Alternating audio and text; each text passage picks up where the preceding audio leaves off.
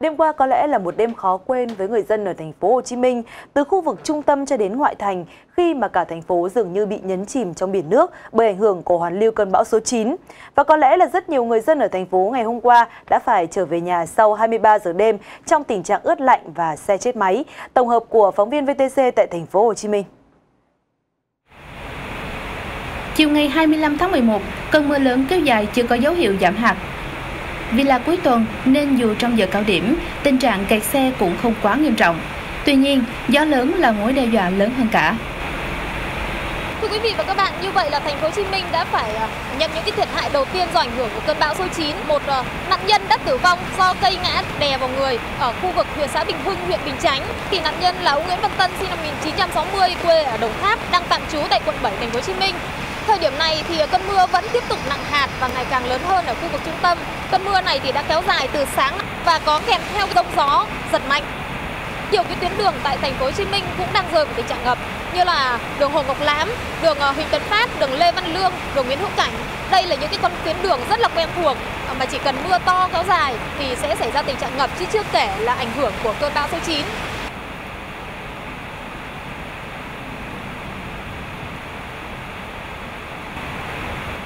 Càng về tối, tình trạng càng nghiêm trọng hơn. Mưa to và gió giật trên diện rộng khiến các tuyến đường trung tâm ngập nặng nề, giao thông vô cùng khó khăn. Những con đường như Phạm Ngũ Lão, Lê Lai, Nam Kỳ Khởi Nghĩa, Bùi Viện đều chìm trong nước. Đặc biệt khu vực công viên 23 tháng 9, chợ Bến Thành vốn là nơi tham quan giải trí của du khách nước ngoài, nay cũng không thể hoạt động bình thường. Khu vực các lô cốt xây dựng của tuyến metro Bến Thành di chuyển khó khăn, một số nơi bị cắt điện, xe máy, ô tô chết máy hàng loạt. Lúc này, chỉ có người đi xe đạp hoặc đi bộ mới thoát được thảm cảnh.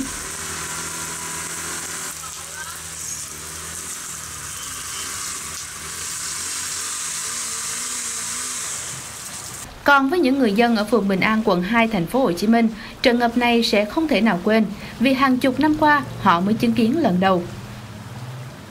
Dù đã sống chung với nước ngập và triều cường nhiều năm, nhưng thời tiết mưa gió ngập lụt thế này với người dân thành phố vẫn là một sự mệt mỏi.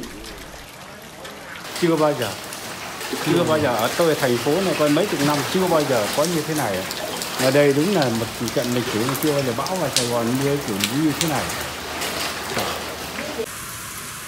Khắp nẻo đường thành phố là nước non và xe chết máy. Nhiều trường hợp đón taxi nhiều tiếng đồng hồ nhưng không thành công